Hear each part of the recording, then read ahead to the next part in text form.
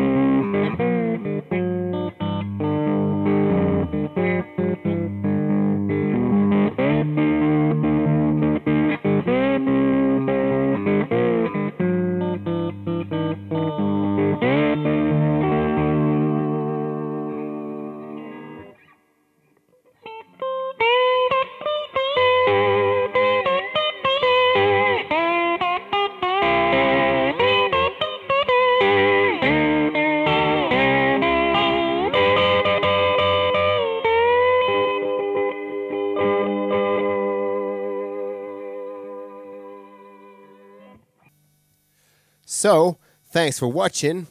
Have a good time. And I'm curious about your comments.